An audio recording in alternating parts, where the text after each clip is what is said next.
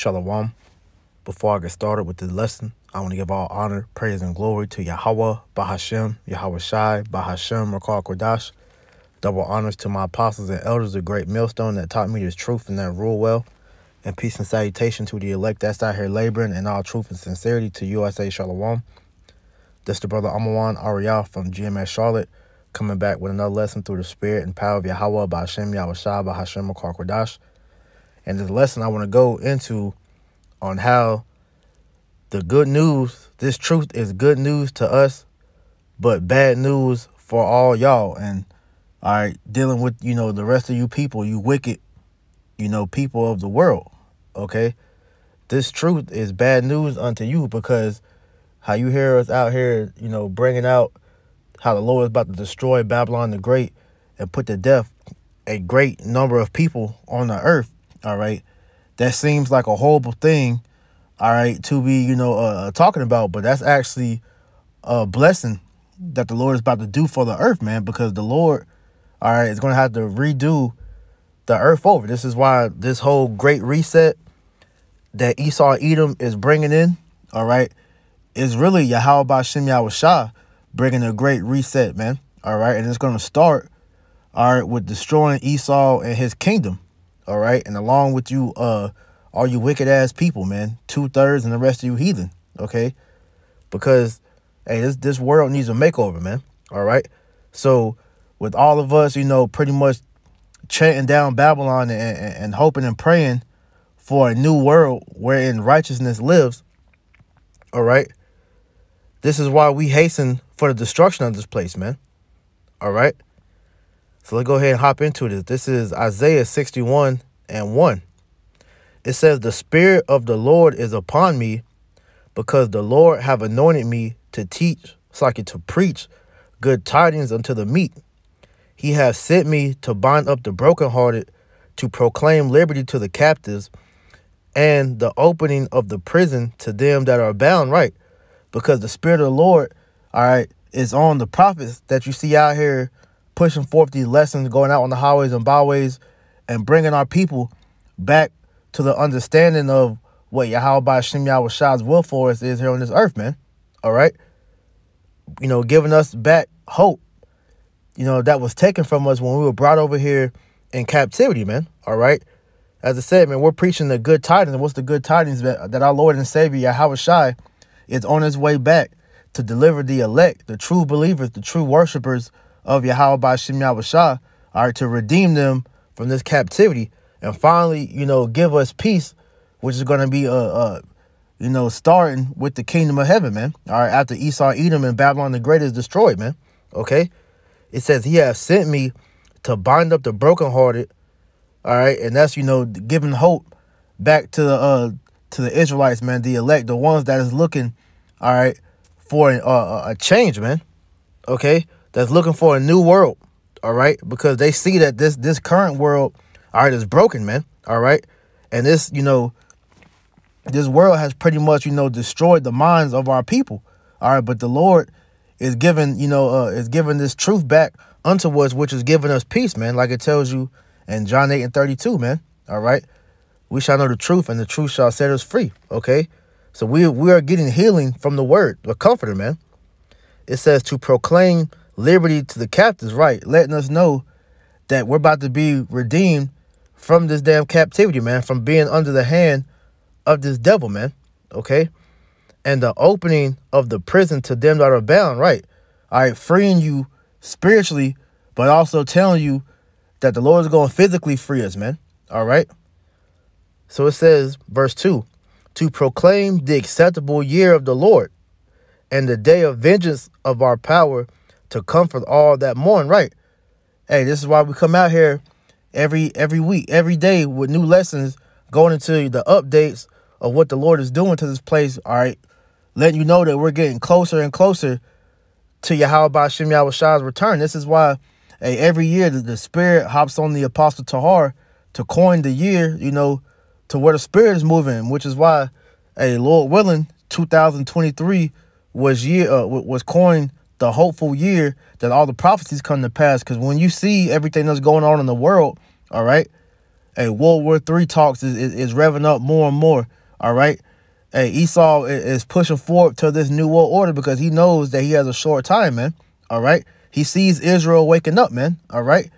And he's afraid. So this is why hey, everything that we're bringing out is letting you know that, hey, Lord willing, all right, hey, we, we are about to witness the return of the Lord, man. All right. This society is about to crash, man. It's about to break down and, and, and pretty much, you know, uh, uh, uh, go under, man. All right. And that's going to be, you know, the, uh, the starting of all, you know, what we what we talking about, man. Okay? Because the scriptures tell you when Yahweh Shah returns, man, it says a fire shall already be kindled in the earth, man. All right? So things are gonna have to get bad before they get uh, you know, they, they get good, man. Okay? Like I said, man, hey, you don't see a rainbow until you until you uh go through the storm, man. All right. And America is about to go through that storm, man, that tempest, man, which is the the judgment of Yahweh Shem Yahweh Okay. This is verse three to appoint unto them that mourn in Zion, to give unto them beauty for ashes, the oil of joy for mourning, the garment of praise for the spirit of heaviness, that they might be called trees of righteousness, the planting of the Lord, that he might be glorified. Right, because Yahweh Shem Yahweh has gave us this truth to go and proclaim it unto our people so that the the uh the righteous amongst us, well, the Lord willing, you know, we're of that righteous number, the elect, all right, can be waking up, uh, woken back up and, and strive, you know, to be saved, you know, in, in, in, the truth, man. All right. That's seeking for Yahweh by Shem Yahweh because, like I said, they see something's wrong with this world. All right. And they seek for a change, man. That change is going to come through Yahweh Shah returning, man. All right. And the Lord setting things back up the way they were supposed to be, man. Those those are the ones that's that's uh, looking for that, man. The elect, man. All right. And this truth brings you all the answers and clarity that you need to be comforted because you know that you're going through all this. You're seeing the world go to hell, all right? Because these things must happen before we get, you know, uh, saved out of here, man. Which lets us know that we're almost we're almost out of here, man. Our, our prison, prison sentence is almost up, man. All right? This is Romans 13 and 11. And that knowing the time, that now it is high time to awake out of sleep. For now it is for now is our salvation nearer than when we believe, right? Because hey, we're seeing the prophecies are are, are pretty much coming to pass like quicker and quicker. Where hey, the last major prophecy that that is showing itself, you know, on its way is the mark of the beast, man. The RFID chip, which is being pushed and pumped and being, you know, uh, uh, gradually conditioned for you people to accept. All right, that's that's on its way, man. All right, alongside with World War Three and Jacob's trouble, man. All these things all right, are, are on the forefront, on the horizon, fastly approaching, man. All right, which lets us know that we're almost out of here, man. All right, because the moment this uh this Charagma, this RFID chip is is mandated, all right, that's letting us know that Yahweh Shai, hey, he's on his way back, man. All right, like he, hey, he's close, man. Okay, it says our salvation is nearer than we believe, man. Hey, we're almost out of here. The night is far spent, the day is at hand. Let us therefore cast off the works of darkness and let us put on the armor of light. Yeah, because hey, we know that this devil's about to come down with great wrath, with great, you know, uh uh deception. All right. Hey, persecution, all these things are coming to pass. So hey, we gotta make sure that we're in the spirit, man. Hey, putting on the whole armor of Yahweh by Yahweh Shai, man, like it tells you in Ephesians chapter 6, man. All right. Let us walk honestly in the day, not in rioting and drunkenness, not in chambering and wantonness, not in strife and envying, right? Because hey, that's the ways of the world that have these people's minds blinded and distracted from what's going on. So therefore, they can't see, all right, that the birth pains are, are drawing closer and closer. Those are contractions, all right, are, are are pretty much showing that hey, this shit about to pop, man. All right, so we got to be circumspect and be sober to to continue to watch to let us know that man, we almost out of here, man. All right.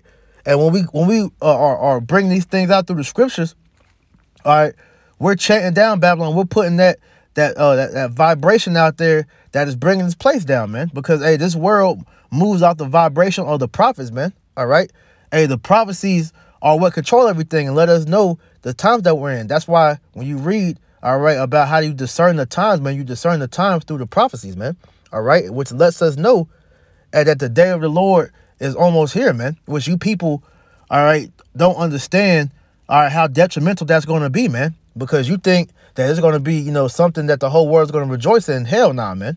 All right. As you can see, all right, you, you having this, you know, whole uh, train derailment, which, you know, these toxic chemicals are being, you know, uh, uh, put in the air, in the water. All right. A famine is fastly approaching more pestilence. All right. The love of, of many is waxing cold.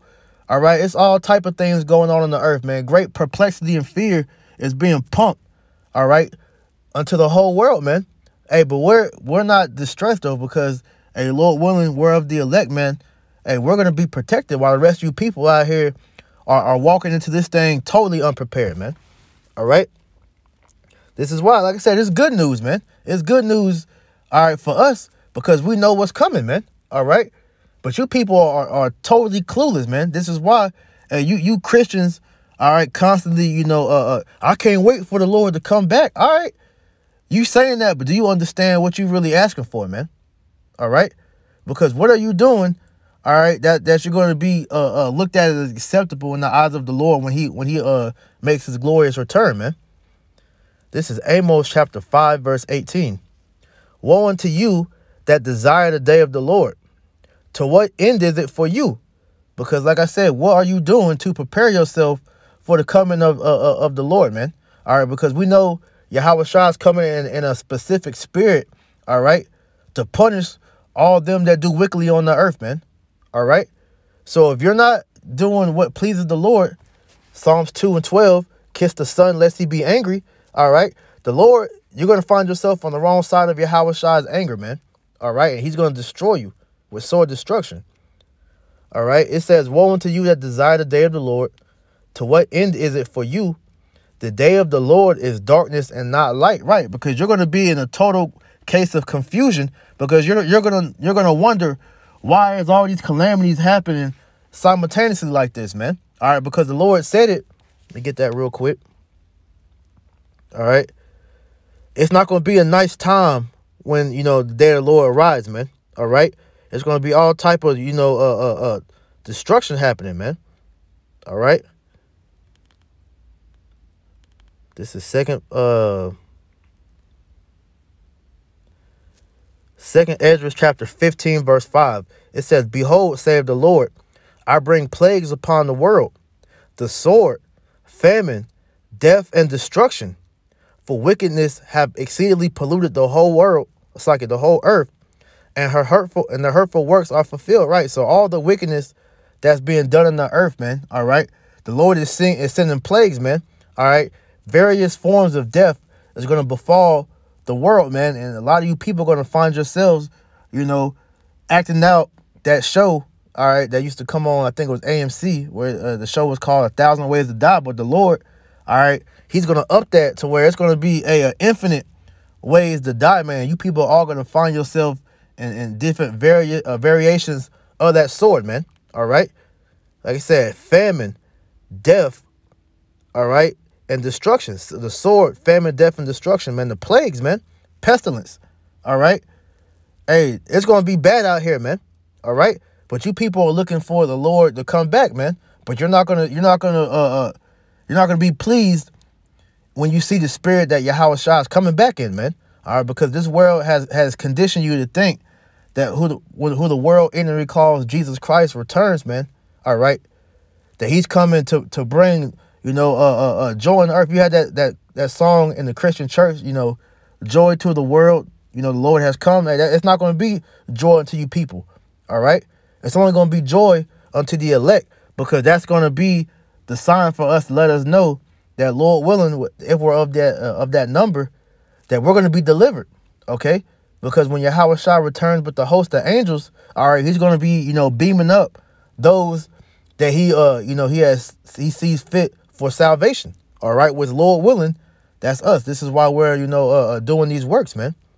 All right, because you have been given a total uh lie about what these scriptures are really about, man. All right, because they you, you hear these Christians like that demon that we have to deal with here in Charlotte.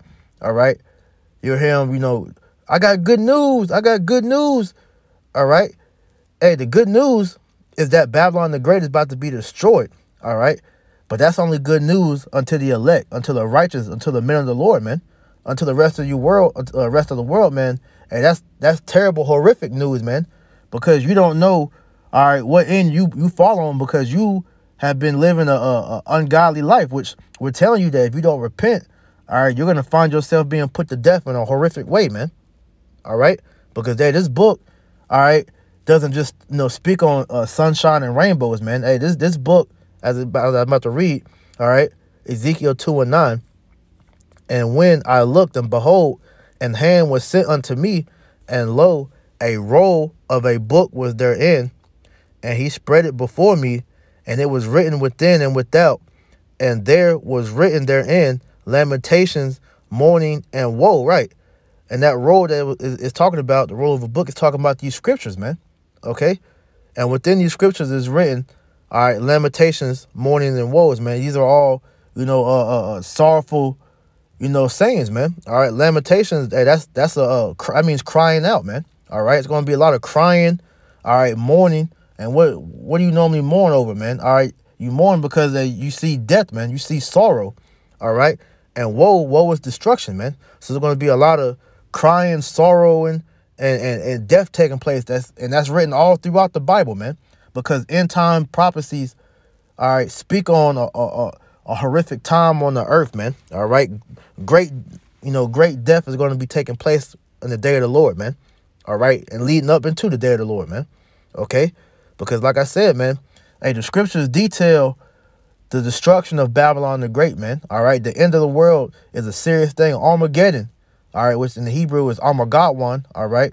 All right. That, that's that's a, a very scary topic that these people don't like to talk about when it comes to the Bible, man. All right. But we must get into it because we understand that this is a bridge that we must cross before we get to the kingdom of heaven, man. All right. So this is uh Second Ezra chapter 4, verse 28. It says, But as concerning the things whereof thou askest me, I will tell thee, for the evil is sown, but the destruction thereof is not yet come, right? Because the Lord prophesied, all right, which is we're out here prophesying, okay, that the evil that Yahweh Shem Shai has set up for Babylon and you wicked ass people, all right, is, is already in the works, but the destruction hasn't came yet because the Lord, all right, has an appointed time to where all this is going to pop off, man, all right? So us as being the watchmen, all right, we are set here to pretty much warn you of these things before they come, man.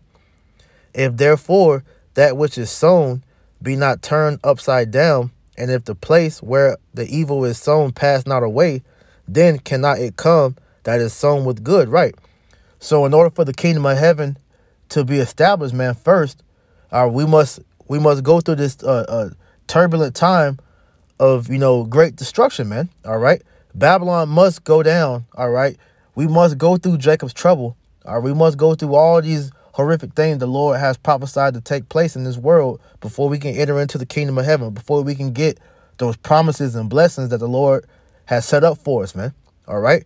So this is why we prophesy and chant down Babylon the Great, man, because we know this is not our rest, all right? And the scripture tell you we have no continuing city here, man. Okay? We seek for a, a, a, kingdom of righteousness, man. And we can't receive that until this place is destroyed, man. Okay? Ecclesiastes chapter 7, verse 8. Better is the end of a thing than the beginning thereof, and the patient in spirit is better than the proud in spirit. Right. So hey, it's a beautiful thing, all right, that we're at the end of Esau Edom's kingdom, man. All right. Because hey, the beautiful thing that's gonna come after, which is the kingdom of heaven, all right, is when the world is finally going to be at peace, man. Like it tells you in Proverbs 29 and 1. All right. And when the righteous are in authority, the people rejoice. But when the wicked bear rule, the people uh, they mourn, man. All right. So hey, it's going to continually uh, be mourning in the world the longer Esau has this rulership, man. And he's going to make sure that things get worse and worse. All right, which is the spirit of the Lord, really. But until you know we we get to his uh his hegemony being destroyed. All right, and it's going to continually be a mourning. But we're witnessing that destruction take place, man, which is a a very honorable thing. Let me get that real quick.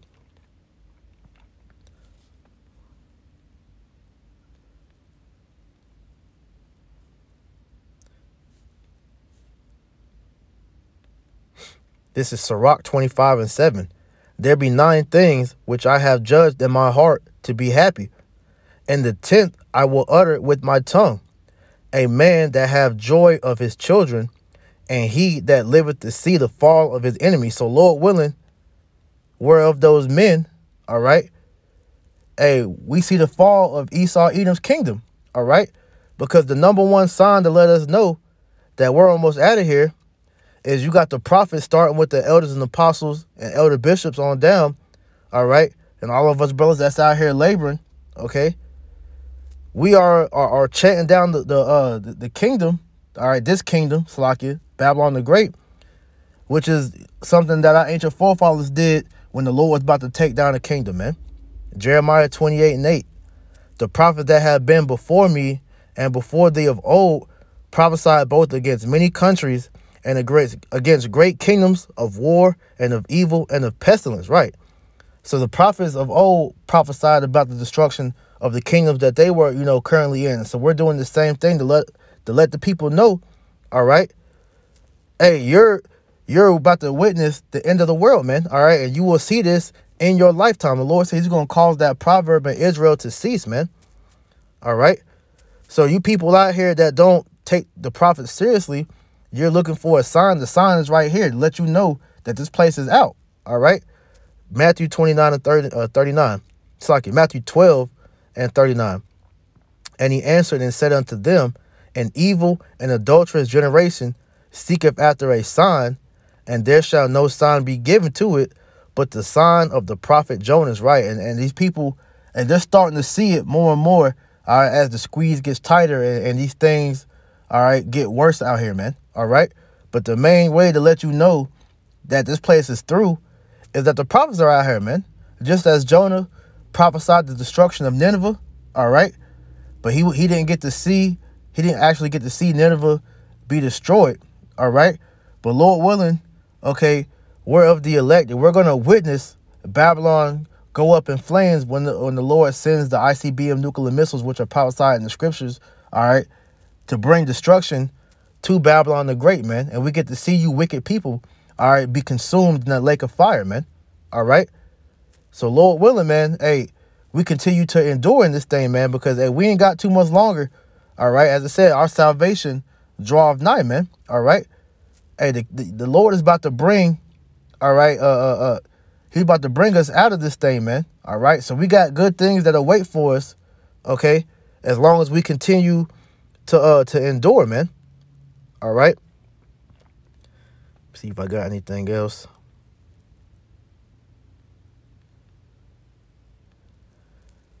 You know, that was pretty much it, man. My my phone cut out my notes. So, yeah, I'm going to end it right there.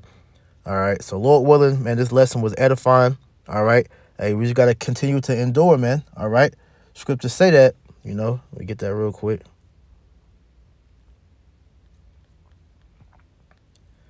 Matthew 24 and 13.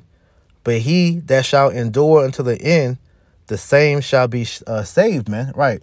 So as long as we continue to endure, all right, until the end, all right, we, we continue to trust in the Lord, all right, and let him guide us until, you know, the end, man. Hey, then, all right, the same shall be saved, man. We're going to be protected, all right? But we got to keep the faith, man. We have we have the vision, all right? We know what the Lord is about to do, man. So we just pray that the Lord keeps the spirit on us and we continue to fight, man. All right. So with that, I pray this lesson was edifying. I'm gonna end it right here. I want to give all honor, praise, and glory to Yahweh by Hashem, Yahweh Shai, by Hashem, Kodash. Double honors to my apostles and elders of Great Millstone that taught me this truth and that rule well. And peace and salutation to the elect. Until next time I say Shalom.